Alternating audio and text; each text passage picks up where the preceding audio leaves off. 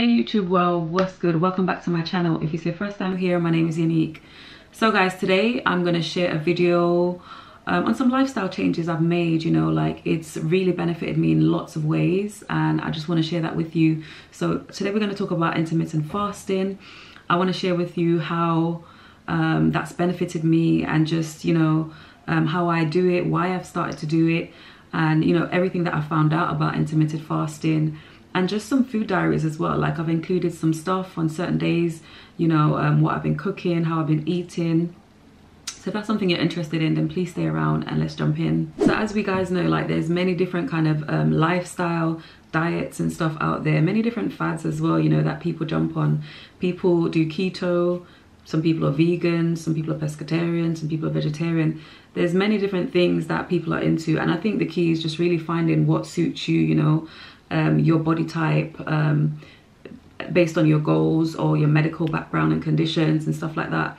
And I feel like I've found that for me with intermittent fasting. You know, there's even um, circadian fasting, I think it's called um, sun cycle fasting. And this is where people only eat when the sun's up. Once the sun's down, they don't eat. And I think um, intermittent fasting somewhat can be similar. Intermittent fasting is basically when you fast for a period of time and then you have an opening window of when you eat.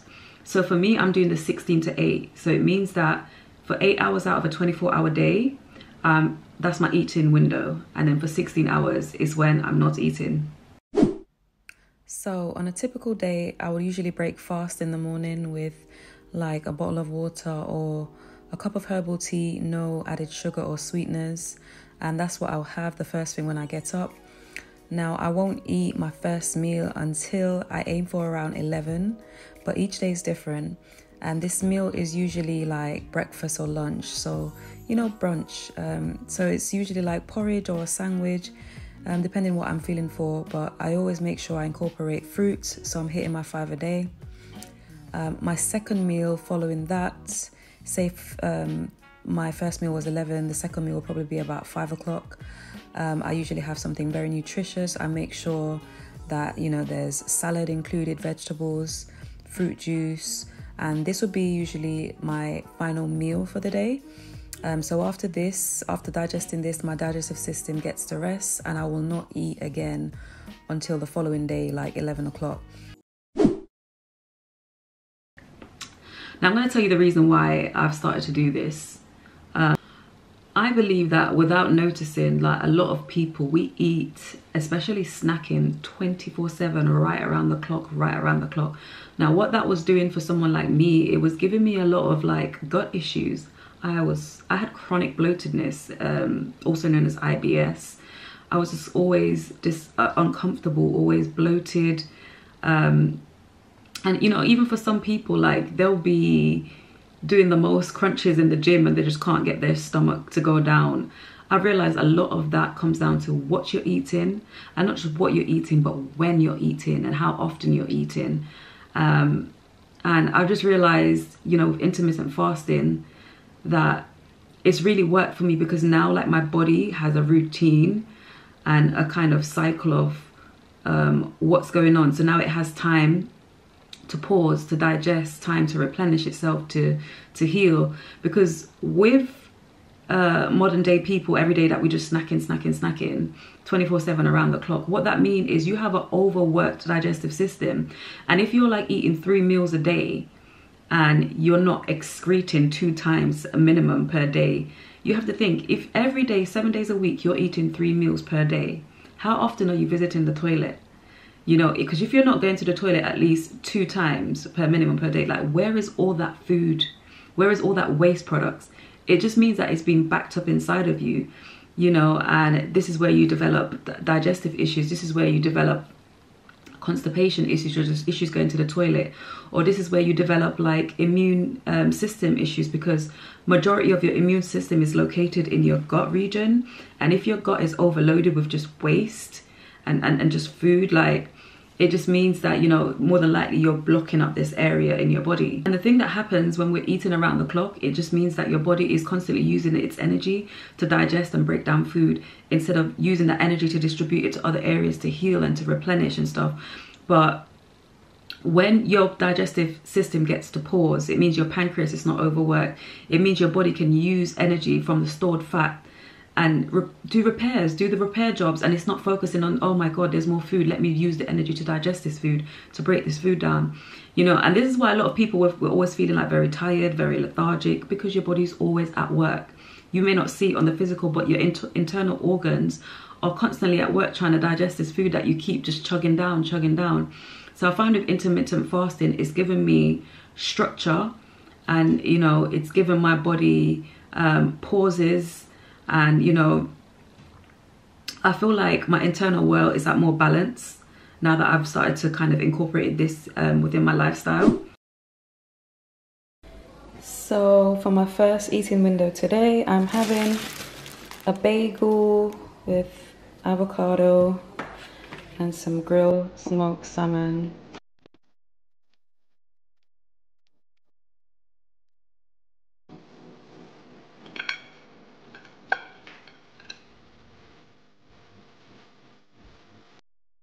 Toasted bagel with crushed avocado, grilled salmon with some coconut water, a nectarine. And if I fancy something sweet, I'll have this cereal bar. So this is my first eating window and this is what I'll be having today.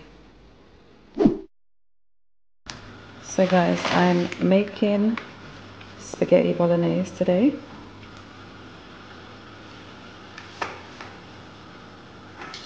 I use Quorn mince to make my bolognese. I don't like beef. I can't have spaghetti bolognese without garlic bread. So I'm gonna get these in the oven while I'm making the bolognese sauce. So guys, um, I'm having spaghetti bolognese with vegan Quorn, um, the Greek salad I made earlier, garlic bread, pineapple juice. It looks so good.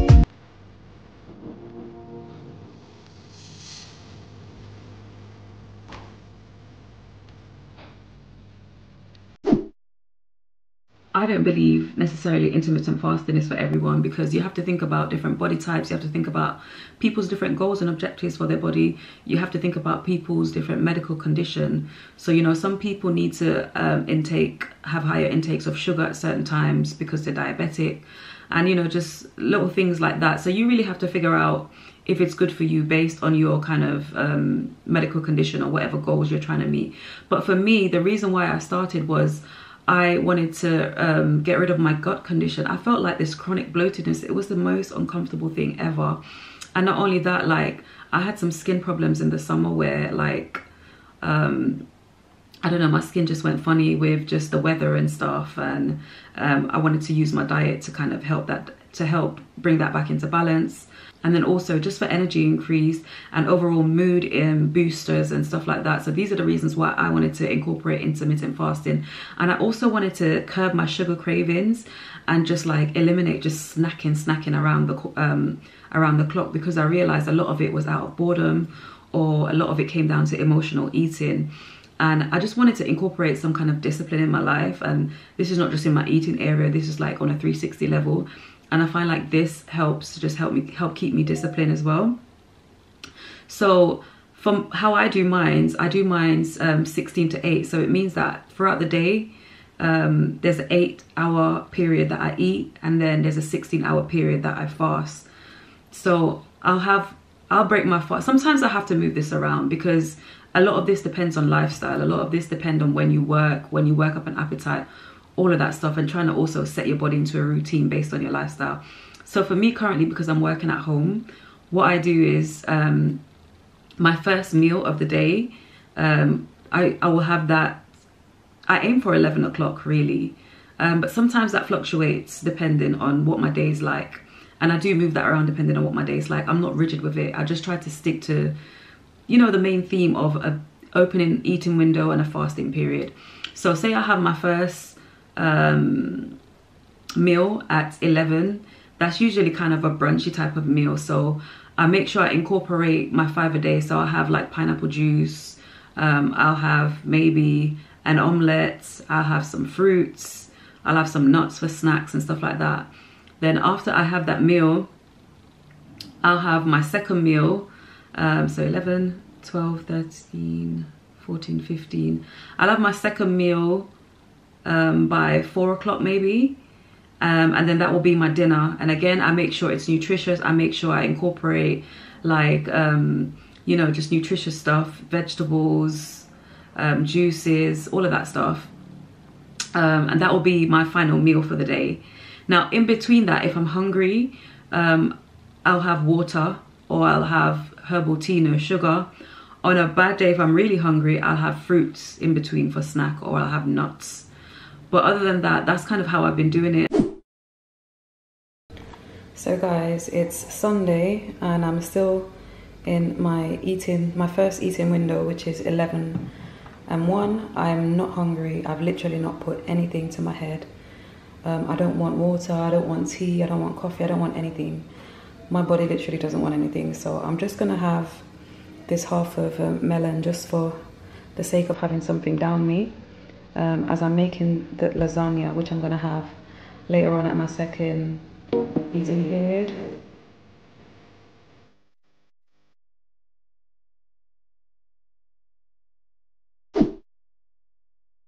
So it's Sunday guys and I'm making dinner for later. I'm making lasagna.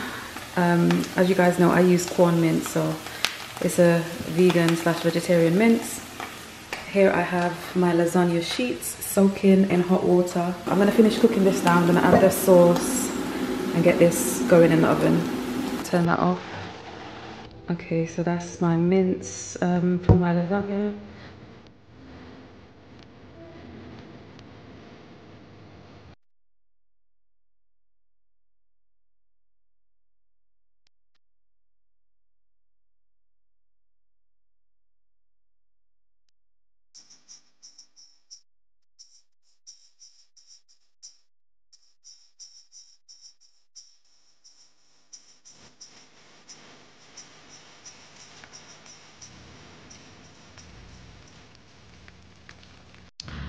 So because I didn't have much this morning except for the melon, I'm bringing my eating window up to three o'clock, three to five.